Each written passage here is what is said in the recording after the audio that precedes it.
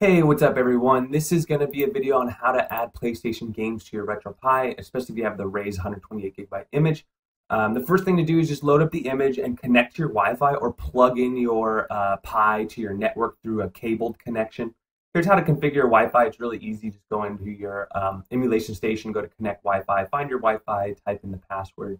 It should give you a current IP address. You might want to take a photo of that, and write that down.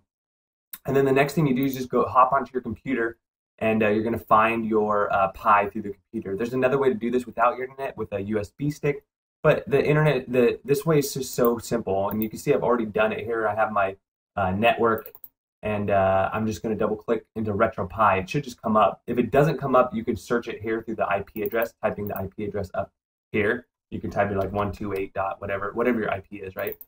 But uh, we just clicked RetroPie, and then we go to ROMs. And for this video, I'm going to do some extra PlayStation games because there's not a lot of PlayStation games on the um, on this image. If you want, so here's an example. I opened up the Disney's Atlantis uh, RAR file. Um, most of the ROMs already on this image are PBP files. Say that five times fast.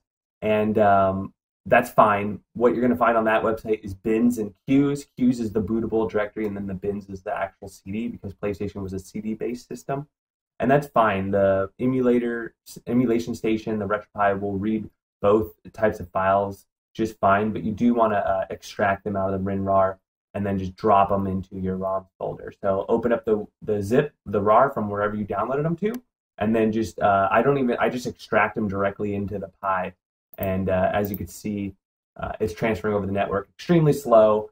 Um, but if you're just doing like five, six games, you can do it in the background while you're doing something else. So I'm uh, adding these games onto the Pi as we speak. And then what I do is I just go back to the Raspberry Pi, just do a quick reboot on Emulation Station, and then uh, we're golden. So my Pi was on the whole time for that because I um, needed the network onto it. So I'm just going to go ahead and restart Emulation Station really quick. Alright, so let's scroll over to PlayStation, added Worms World Party, and Disney's Atlantis, and E.T. So here's three games. Let's go ahead and start with Disney's Atlantis.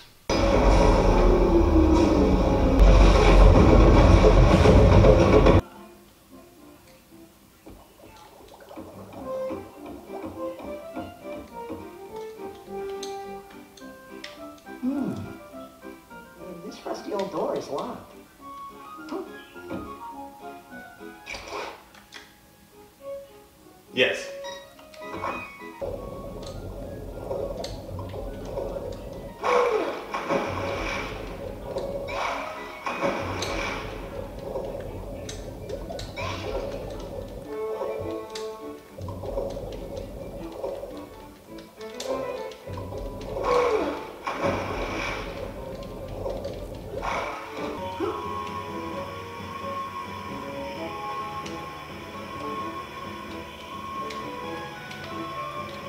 You can't push it, it's too weak.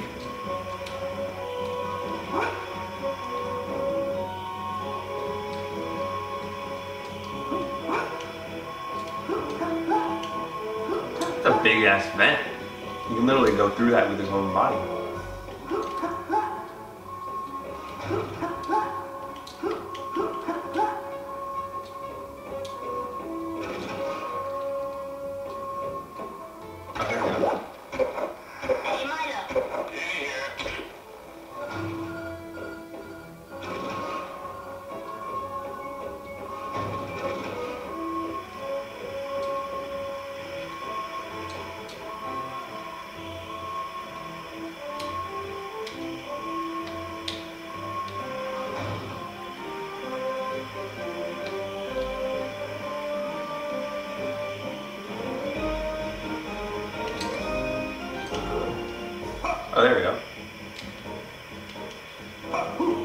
We got ET, extraterrestrial.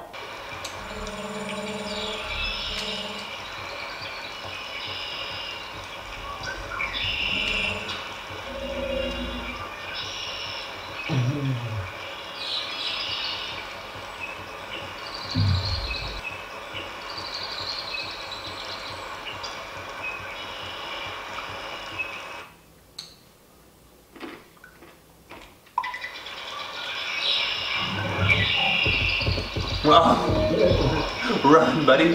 Run. Run, buddy, run. Oh no.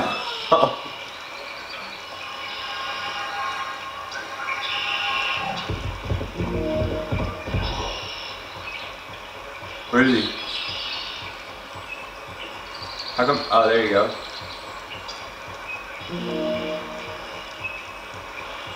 Run, Boris, run.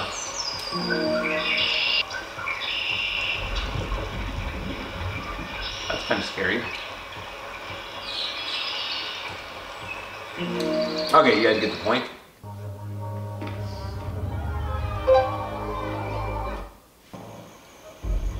All right.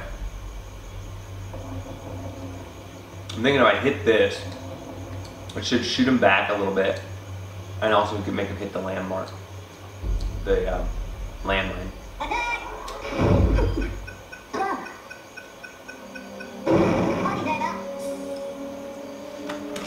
Not as good as I thought.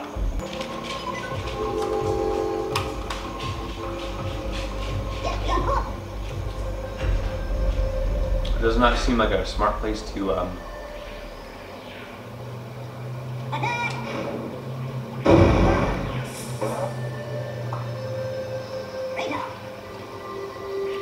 Let's go ahead and force death.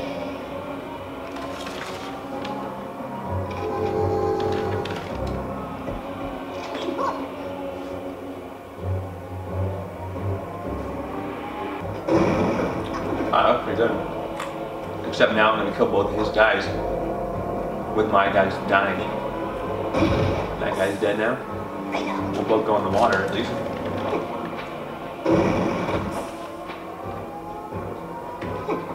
Now he's dead too. Nice.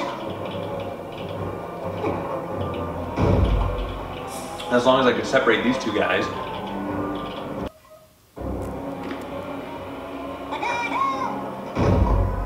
That's it, we lost.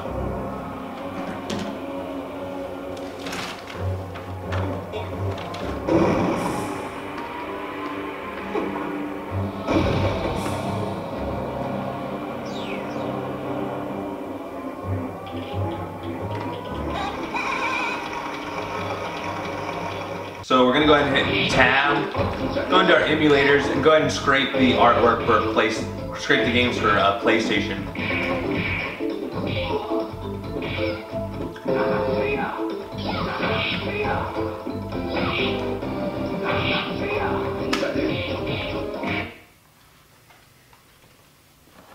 Now once this is done generating, I should be able to see the Atlantis and the games I've added. However, I didn't download any of the artwork, so they're just gonna come up as a big question mark. So here's Worms World Party. As you see, I didn't scrape the artwork. And then here, you'll see I have Disney's Atlantis I have two of them. It's because it's a two file game. And because it's a two file game, it's, it's reading both files. Um, there's a way to hide it, or there's another way to get rid of this. Uh, but for the meantime, because the ROMs have so many tracks, you see them all in Attract Mode. That's how you um, scrape the latest games to update your track mode. So it has all the latest games you have on it. I hope you like this video. It's very easy to add more ROMs, not only to PlayStation, but other systems, not only on Ray's image, but if you're starting an image of your own. If you could please like and subscribe, we would really appreciate it. There'll be some links with some info below, and we'll see you guys next time.